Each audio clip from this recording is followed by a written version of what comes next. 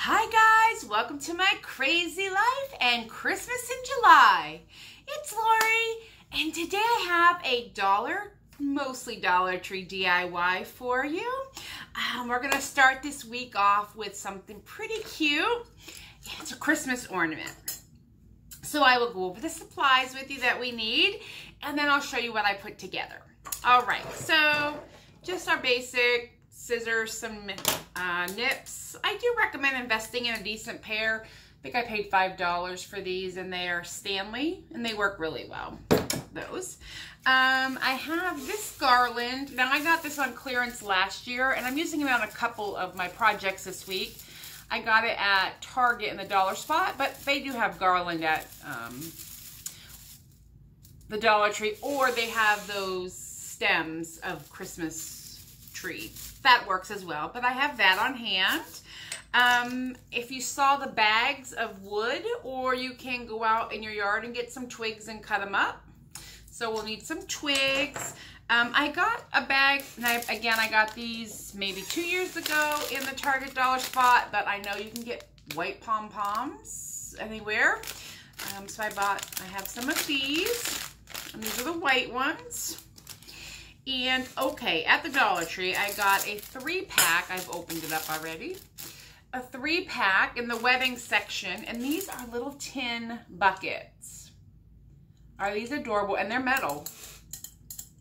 So you get three for a dollar. I thought that was fantastic. Um, I have just some different washi for Christmas that I've had on hand. You can, I just picked these three to try. I have these bows that I got at the Dollar Tree.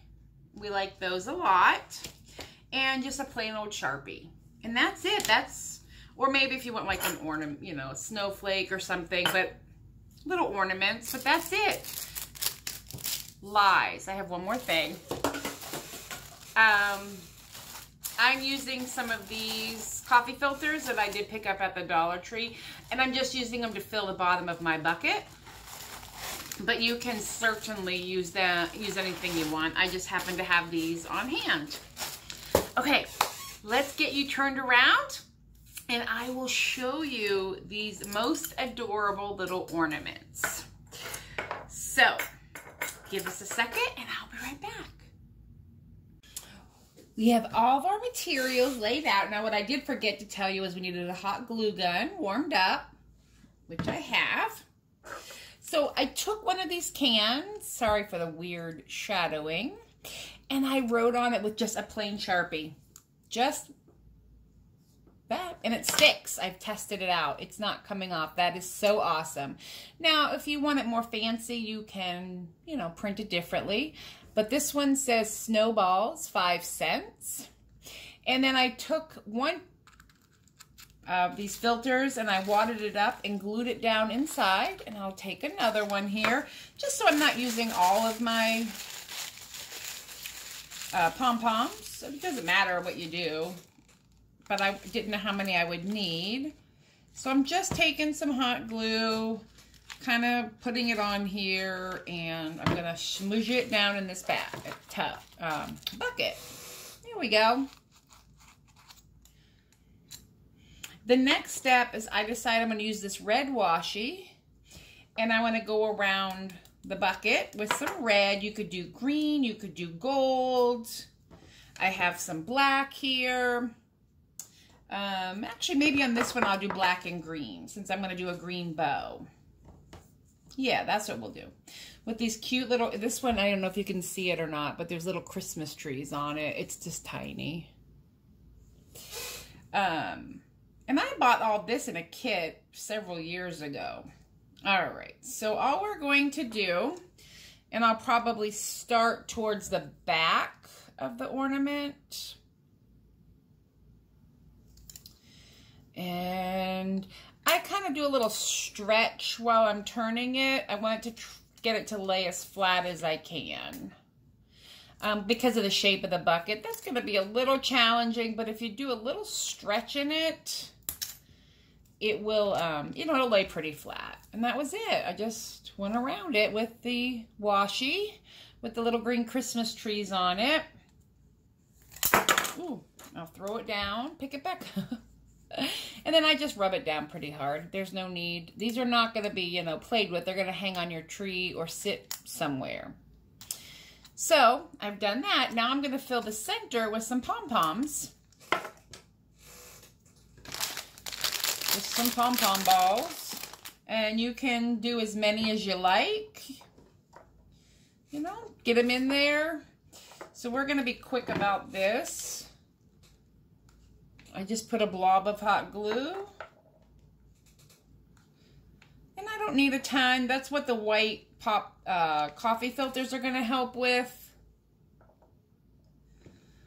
They're going to help kind of disguise the fact that I'm not filling the entire bucket, which you can. Again, that's totally up to you.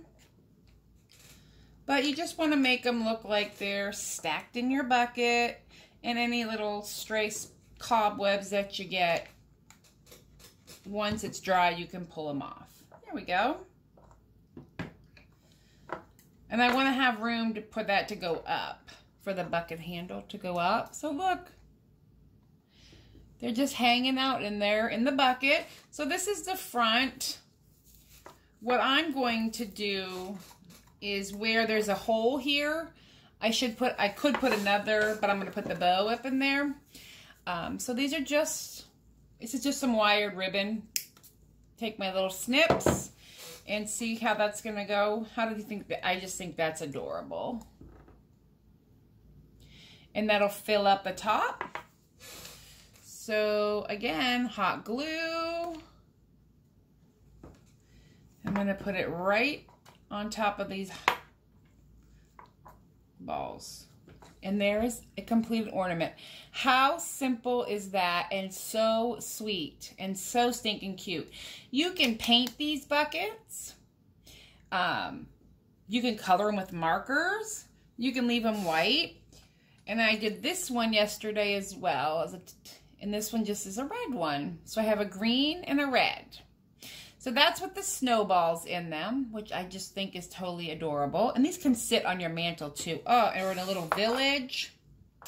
Now the next thing I want to do, instead of snowballs, is I'm going to make a little bucket of firewood with these little sticks from the Dollar Tree that I bought or your yard. So we're all I'm to do was, again, with this, because I want a little height in there, so I'm just smooshing up my paper. Nothing too fancy. I'm just putting some hot glue in there. And I'm to fill the bottom. Because that way it'll give these some height. But not too tall. Because I want, you know, to be able to hang. But I want to see them as well. And then I'm just going to you know, they'll get glued down in top in there, but I want this open with this up, maybe, or down, I don't know yet, but you want to be able to um, get your twigs in there. So I'm kind of pushing it down because I don't want them to stick out too much. And then we're going to do the outside first. So I cut a piece of this greenery and this is wired. And you see this hole in here? I'm going to stick the tip of it in that hole with the handle. Um, I'm going to use a little hot glue, but I will tell you that it, it might not stick super well. So I want to get, all right. We're going to cut some of these off the tip so I have a better view. There we go. I'm just going to clean the tip here. And I'll do this end as well. And this is, um, I think it's supposed to be boxwood, which is very Christmas-like, for sure. All right. And if you're using regular garland, same thing. Or if you're using Christmas tree, you know, swag, same thing. So I clean that off so I can see to get it in there. I want to put it in the hole maybe and I don't think, well, it's in there. There we go. Popped it in that hole. Touch of hot glue on that side. I don't think I'm going to need it, but We'll see. And then I'm going around twice because I wanted it a little full. And up top. All right, we're going to do a little gluing here. Now that I see where I want it, I'm just going to take a little glue around the edge and get that one piece there. How cute is that? And you can do this again any way you want. This is just my idea of how to decorate these for the holidays. But there is unlimited number of things you can do with these little buckets. Oh, put some coal in it and set it by a little miniature fireplace. This one's a little rough, the paint job, but I don't mind. Um, and I'm trying to kind of glue these one on top of the other. There we go. Now I'm back at the end and I'm going to feed it into this side.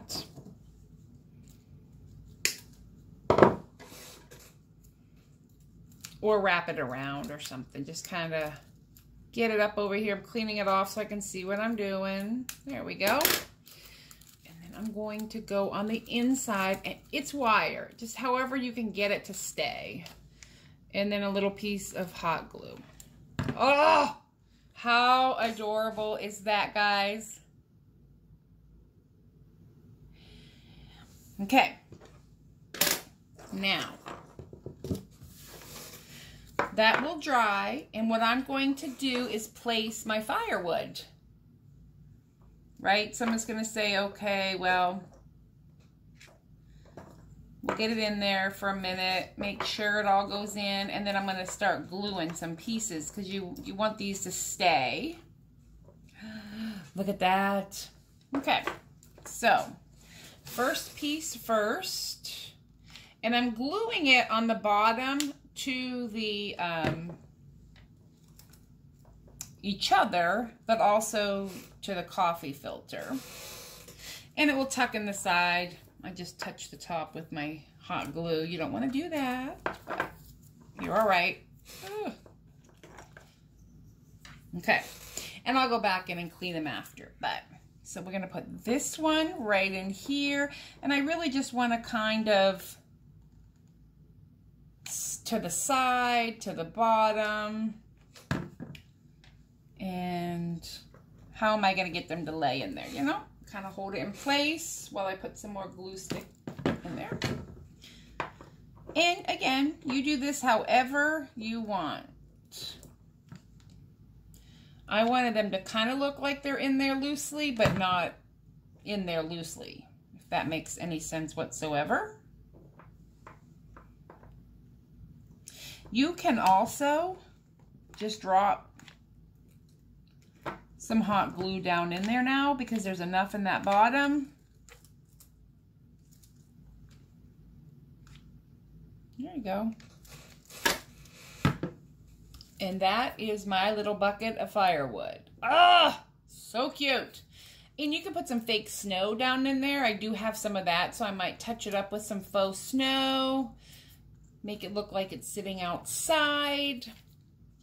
And then I'm just grabbing any of my little cobwebs from the glue gun. But how adorable is that, guys? And super easy. A kids could do this oh, maybe the senior center, something easy.